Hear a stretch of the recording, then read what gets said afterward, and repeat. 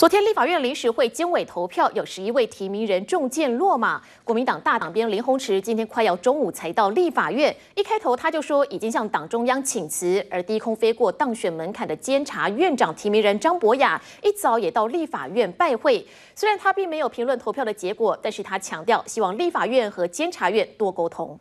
国民党立委跑票要不要技术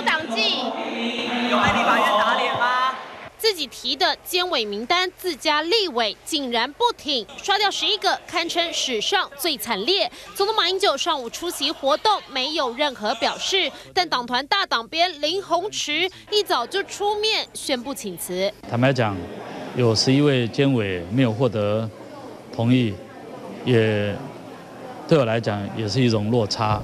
对于没有达成使命啊，我负完全的责任。所以，呃，我提出辞呈，稍微有一点意外，但但是很好的执行长，嗯，就很可惜，遗憾，对不对？希望中央。还是能够慰留他们。立法院长王金平忙出来缓颊，监委倒十一个，连监察院长都是低空飞过。张博雅一早也拜会王金平，对于现在立法院、监察院有些尴尬的局面，张博雅说要多沟通，还是应该要沟通的啊，不是各自为政，也不是互相来批评的。那他们认为说监察院应该废除，如果卫兵打瞌睡，你要把卫兵废掉吗？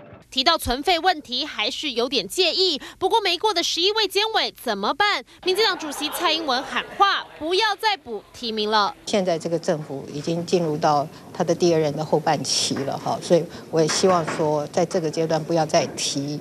呃，补补补充的人选哈，让现在已经通过的人选能够好好的把这个监察院呃，在这个阶段要行使的监察权，能够呃好好的去去去处理。马英九总统尊重立法院的决定。